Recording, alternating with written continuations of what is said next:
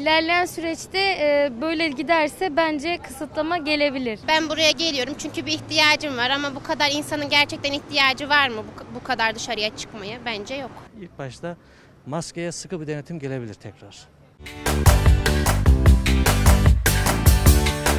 Türkiye'de normalleşme sürecinde neredeyse bütün kısıtlamalar kalktı.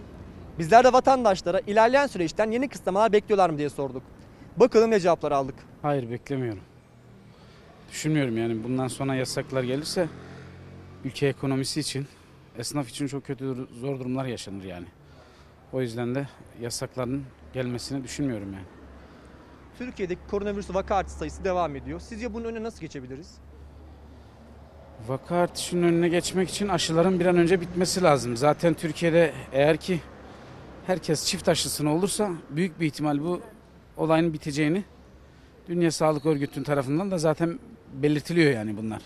Ancak ki tek çaremiz çift aşımız olmamız.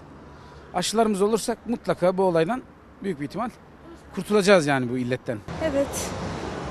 Bekliyorum. Ne tür kısıtlamalar bekliyorsunuz? Sokağa çıkma yasağı, e, uzaktan eğitim. Bunlar gibi. Peki Neden bekliyorsunuz yeni kısıtlamalar? Çünkü virüs çok arttı maalesef. Ki Kayseri'de bu diğer ülkelere göre, diğer şehirlere göre daha çok. Peki virüsteki artışın önüne geçebilir miyiz sizce? E, aşı olunursa ve kısıtlamalara, yasaklara uyulursa evet ama şu an gördüğünüz gibi çoğu insan maske takmıyor. Hayır battı balık yan gider böyle devam edecek ya.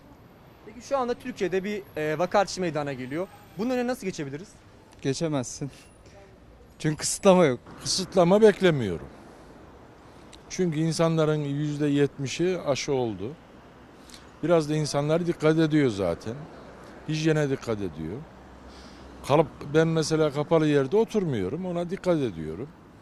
Ama tabii bunu bu sorduğunuz soruyu ilim adamları bilir. Yani biz bilemeyiz. Bekliyorum. E, ne tür kısıtlamalar bekliyorsunuz ve neden bekliyorsunuz? Kısıtlamaları şöyle yani pandeminin sonucunda bütün dünyanın kabul ettiği aşıyı ülkemizde yani medyadan izlediğim kadarıyla kabul etmeyenler var. Aşı karşıtları çok ve hastalığın yayılması hani aşı e, tıp ben benim kanımca en kesin çözüm gibi görüyorum. Yani karşıtların böyle olmayışı bir takım kısıtlamalar gelecek ama e, nasıl söyleyebilirim? Daha çok aşıya karşıt olanlar için. Nedir en son gündemde Bakanlar Kurulu'nda da dinlediğim haberlerde aşı kartının geçerli olmasını e, öngörüyorlar. Ki bunu yurt dışına da gittim gördüm. Yurt dışında da bunları aşı kartlarını istiyorlar her yerde. Uçağa dahi binemiyoruz. Artık ki toplu taşımada e, otobüse dahi binemiyorsunuz. O yüzden e, toplum olarak biraz daha dikkatli olmalıyız. Ha, belki şu an havaların da iyiliği belki insanları şey yapıyor. Biraz daha önemsiz anlama getiriyor ama neticede e, bir takım engellemelerin olacağını düşünüyorum kendi adıma. İlerleyen süreçte e, böyle giderse bence kısıtlama gelebilir. Çünkü e, işverenler işçi alıyor ve daha da kalabalık oluyor. Her yerde serbest oluyor. Yani böyle giderse korona vakaları daha da artıyor ki çevremdeki neredeyse e, herkes korona şu an. Biz de e, önlemimizi almaya çalışıyoruz ama imkansız. Maske olduğu halde bile bulaşıyor yani. Bence ge- gelir. Peki sizce gelmesi gereken ilk kısıtlama ne?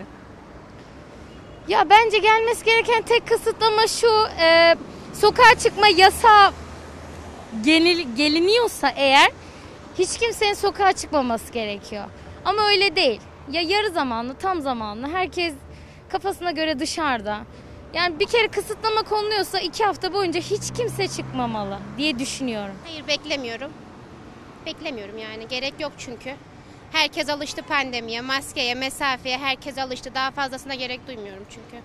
Peki sizce Türkiye'deki vaka sayısı nasıl düşürtülebilir? Ya e, bunu nasıl anlatsam millet kendi herkes kendi düşündükten sonra bir şey olacağını düşünmüyorum. Yani herkes kendi kurallarını kendi koymalı bence. Biri çıkıp da ekrana konuşmak zorunda değil. Yani herkes kendi düşündükten sonra hiçbir şey önleme gerek kalmayacak. Peki sizce Kayseri'deki vatandaşlar kendilerini düşünüyorlar mı? Önlemlere uyuyorlar mı? Hayır yani bu kadar vaka olmazdı eğer böyle bir önlem olsaydı. Ben buraya geliyorum çünkü bir ihtiyacım var ama bu kadar insanın gerçekten ihtiyacı var mı bu, bu kadar dışarıya çıkmaya? Bence yok. Bekliyorum. Ee, neden bekliyorsunuz ve ne tür kısıtlamalar bekliyorsunuz? Ee, aynı okullara falan kısıtlama gelebilir. Bir de e, verilere falan baktığımızda bir de kış sezonu yaklaşıyor. Soğuk havaların etkisiyle e, düşünüyorum yani. Artacağını düşünüyorum. Kısıtlamaların da geleceğini düşünüyorum. Peki sizce getirilmesi gereken ilk kısıtlama nedir? İlk kısıtlama ne olabilir? Ee, insanların şimdi maske olarak kullanıma baktığımızda insanlar bunu aksatmaya başladı. İlk başta maskeye sıkı bir denetim gelebilir tekrar.